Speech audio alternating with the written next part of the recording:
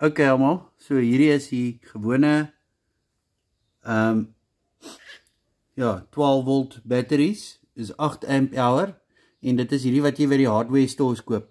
En hulle gaan gewoonlik in jou garage motor of jou driveway motor of soos ons nou nou, nou gaan sien, ek gaan vir julle wys in die um, backup power supply vir die routers en die type goed, jy weet die inverters wat jy koop op Takealot Jy kry verskillende van hulle, is party van hulle het twee van hierdie batterye in, party het net een in. Jou garage motor onder andere het gewoonlik twee van hierdie kleintjies in. Hulle is 3.4 amp hour. Ehm um, is ook 12 volt. Hierdie is 'n 8 amp hour wat ek in my driveway motor het en in my inverter, my backup power supplies vir my ehm um, routers en my in-house Wi-Fi mesh. So ja, hierdie battery het obviously na al die load shedding gegaan en nou dink jy jy moet hom weggooi. Maar dis nie nodig nie. Jy kan hom nog 'n paar keer red en al wat jy hoef te doen, jy moet hierdie toppie afhaal hierso. Dis so doppie wat hier bo-op is. Jy kan hoor hy's hol. En as jy hom oopmaak, hy't hierso twee sulke klein gaps aan die kante. Daar's die een en daai kant daar's die ander ene. So al wat jy hoef te doen is jy moet net iets skerp gebruik. Ek gebruik sommer hierdie els en jy druk hom net daarin en jy lig fisies daai dingetjie op. En jy werk hom na die kant toe. En dan trek jy hom op. Daar sê en daar is jou batterytjie. Baie soos die ou kar batterye hulle het selle wat met distilled water gevul is. Jy kan hierdie doppies aftrek. Dis 'n klein rubber doppies. sien jy? So al wat jy doen is jy haal hierdie doppies af een vir een. Jy sal hoor party van hulle suig vreeslik vas en daai is gewoonlik dieselfde wat baie leeg is. Die water is verdamp, dis opgebruik. Ehm um, en wat ek doen is ek koop van hierdie distilled water by die apteek.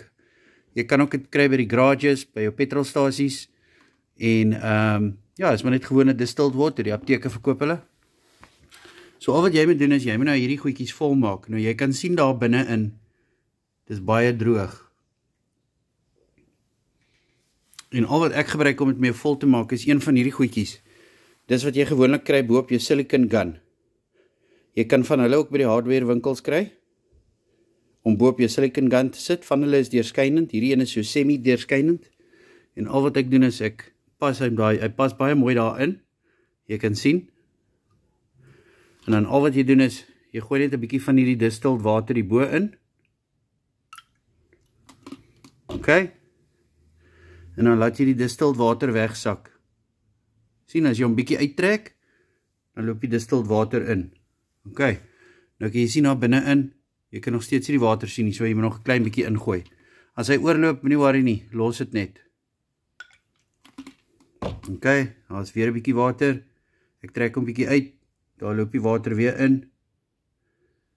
Daar's niks water wat nog oorloop nie, so hy's nog heeltemal vol nie. Ek sien nog hierdie water daar binne in nie. Kan nog 'n bietjie ingooi.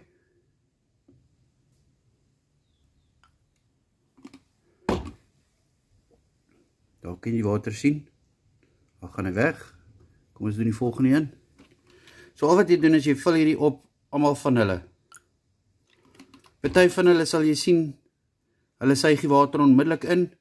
Ander van hulle ander van dieselfde sal jy sien is is uh vol en hy sal sommer oorloop wanneer jy die water ingooi. Party van hulle as die battery nog in baie goeie kondisie is, dan is hulle redelik vol, maar van die selle wat oud is, hulle is droog en ja, jy kan maar net weer van dit ingooi. Nou sê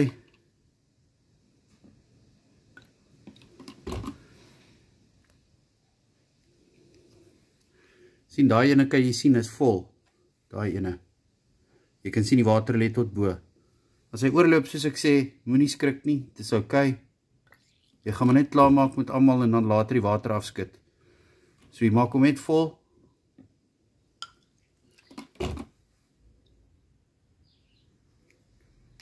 Wow, hy vat baie water.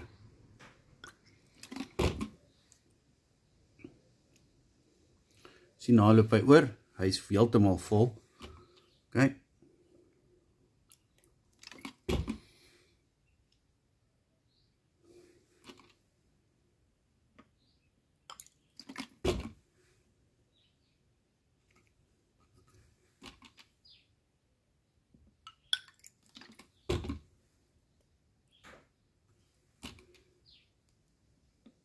En ek het nie self hiermee opgekom nie.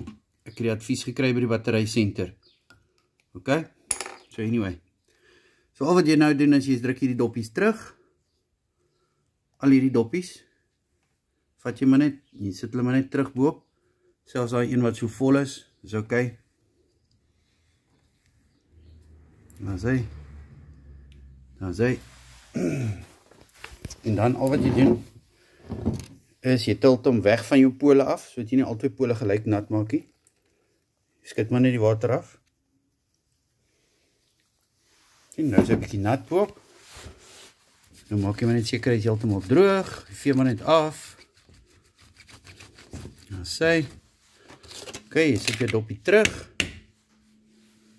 OK, sorry. Moet ek jou wys? Waar is hy? So jy sit maar net hierdie dopie terug. Hy's los. So jy kan sien jy kan hom Hy is heeltemal los. So ek gaan maar net 'n rekkie om hom sit. Sommige een van hierdie boekhou rekkies of die banksakkie rekkies, jy weet, sommer cheap rekkies wat jy kry. Of jy kan net 'n stukkie selle tape omplak, whatever. Dis maar net om hierdie dingetjie daar te hou en om te keer dat die doppies skade kry, daai doppies. Hulle moenie lek nie. OK. Jy moenie gate in hulle kry nie. Hulle beskadig nie. Jy moet hulle nie verloor nie.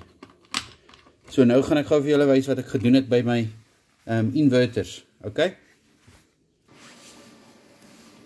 Ok, so hier is die batterij.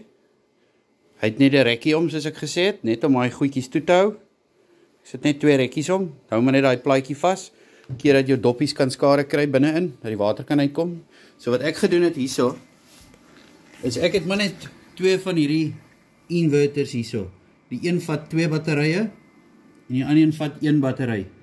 Nou die goed kan jy oopmaak, hulle het skroewe onder, al wat jy doen, maak die skroewe oop, ja, maak hom oop, haal hom uit mekaar uit, en binnenin sal jy sien, die wat groot is, soos hierdie ene, hy het twee batterije in. Al wat ek gedoen het, is ek het die batterij, sy kabels van binnen af uitgevat, ek het vir my, van hierdie krokodilbek tangiekies aangesit, ok, hierdie ene is so gekoppel, nou sy, en hierdie een, het maar net een batterij, sien hier het ek sommer 'n stuk insulation tape omgedraai net om dit vas te hou tydelik. So ja, op hierdie manier kan ek nou wanneer hierdie batterye afgaan en ehm um, load shedding raak te veel vir hulle, hulle hou nie deur die hele load shedding nie, dan al wat ek doen is ek ontkoppel hierdie. Ek haal hulle af en ek sit die ander batterye wat ek weer die water in gesit het, kan jy daar insit, maar wat ek doen is ek kry vir my een van hierdie chargers. Dis 'n trickle charger of 'n pulse charger. Jy kan hulle ook op Takealot koop. Hulle is goedkoop. Hy was 269. So dis baie goedkoop. 269. Jy sit hom op puls. Hy wys vir my daar hy's vol. Wanneer jy die battery opkoppel, jy koppel maar net jou jou negatief op negatief, jou positief op positief, rooi op rooi, swart op swart. En wat jy doen is wanneer jy hom gekoppel het, dan druk jy full, dan druk jy repair. En dan wys hy vir jou PUL, dis maar net puls. So nou doen hy 'n pulse repair. So wanneer jy die battery opkoppel, gaan hy in elk geval vir jou wys voel, hoor. Selfs as die battery beskadig is. So wat jy doen, jy druk net repair en jy laat hom repair run doen. Vir batterye wat baie skade gekry het, baie cycles deur is en en afgegaan het die hele tyd, ehm um, heeltemal gedrein is. Hulle moet jy maar sê maar 24 uur op pulse los. Ander wat jy so gebruik as jy een keer sien hy's op jou inverter backup power supply en hy ehm um, en hy raak pap, dan haal jy hom onmiddellik af en jy sit hom terug op jou pulse charger en dan charge jy hom weer. En dis dit. OK, hoop dit help.